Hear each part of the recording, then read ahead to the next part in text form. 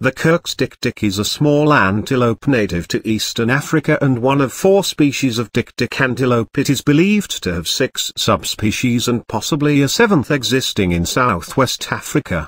Dik-diks are herbivores, typically of a fawn color that aids in camouflaging themselves in savanna habitats.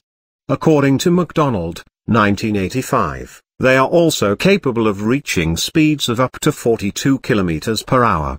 The lifespan of Kirk's dik-dik in the wild is typically 5 years, but may surpass 10 years.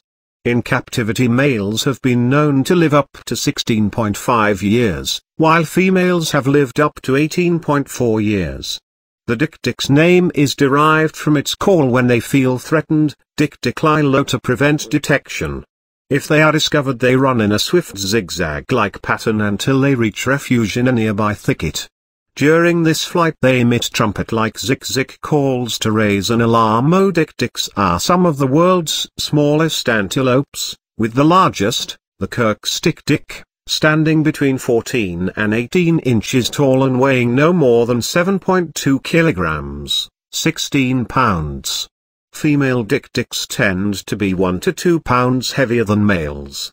Dik-diks are dainty creatures with a pointed, mobile snout large eyes and ears, prominent preorbital glands, pipestem legs, hare-like hind limbs that are significantly larger than their forelimbs, and a vestigial tail. Their coats, depending upon their habit,